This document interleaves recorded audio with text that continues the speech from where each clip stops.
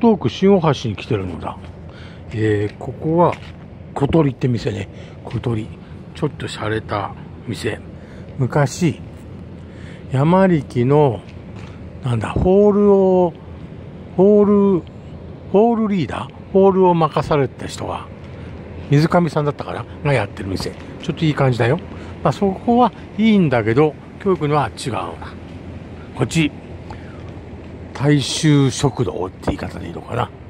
三好屋。三好屋ってそこら中にあると思うけど、ここもなかなかね、なかなか面白い。さあ、入ってみるのだ。手動なのだ。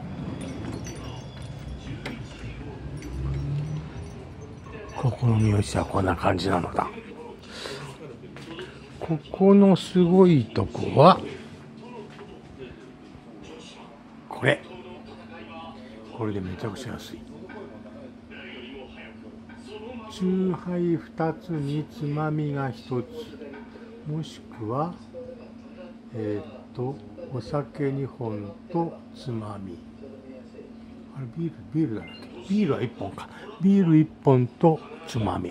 で、つまみもね、ほら、結構ちゃんとしてるでしょ？カツ煮とかオムレツとか。で、もうね、実はね、来ちゃってるのだ。これ、これカツ煮。なかなかのボリュームなのだ。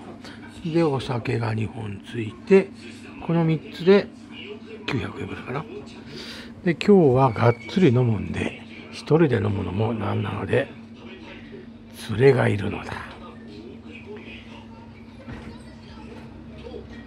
今撮ったのは店主ね。えー、江東区常盤の、えー、オリジナルサイクルショップ？アロハロコの社長、鹿野さんなのだ。鹿野さんこっち向いて。こんばんは。こんばんは。ちょっと今日は一緒に飲みます。こんな感じで、これね、なかなかでいけるんで、行ってみます。んどうすりゃいいんだ？こうか？こうすると、自撮りにするにはどうするんだ？よくわかんねえな。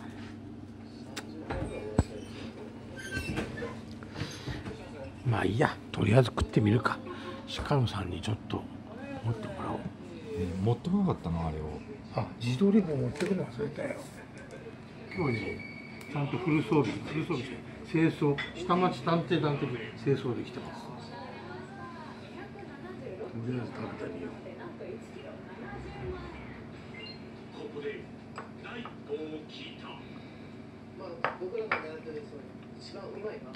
ちょっとね、味濃いめ。だけどね、これ、これで俺だからね。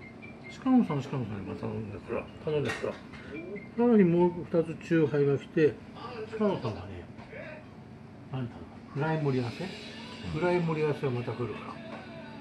これ全部で二人で、1800円か。なかなかお得でしょ？